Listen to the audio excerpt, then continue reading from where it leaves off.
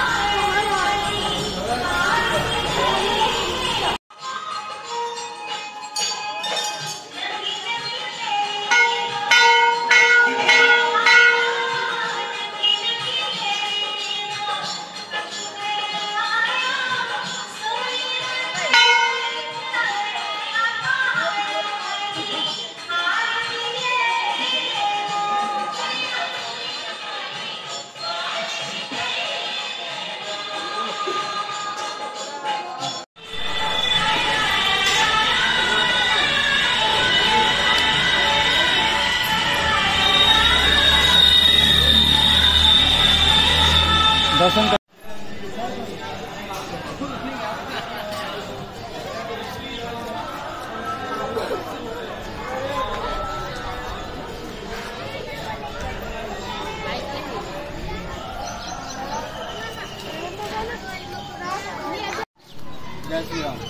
अरे भाई साहब जय श्री राम।